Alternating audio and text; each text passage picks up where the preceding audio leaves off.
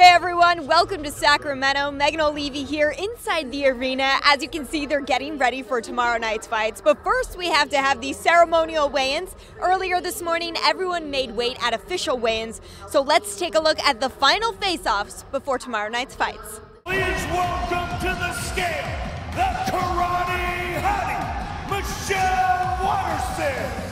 Official weight 115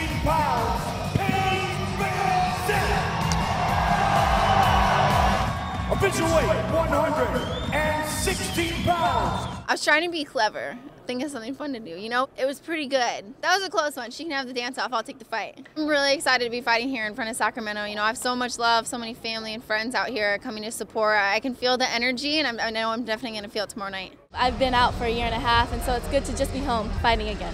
I know that I've put in the time and the work, and, and so it's not like I'm cramming for this test. You know, I've been I've been studying really hard for a really long time, and I just have to go in there and, and be present. I know Paige is a serious athlete as well, so we're both going to get in there and we're just going to go for it. Sage Northcutt fighting Mickey Gall.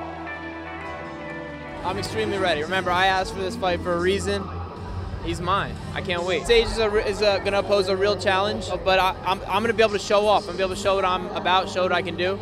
I'm excited for that. In the bantamweight division, the California Kid, Urijah Faber, facing Brad One Punch Pickett.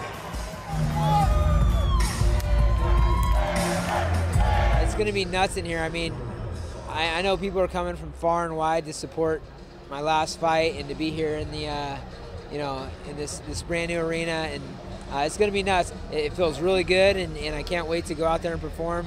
I know it's going to be a battle tomorrow, and I'm looking forward to just cher- cherishing every moment.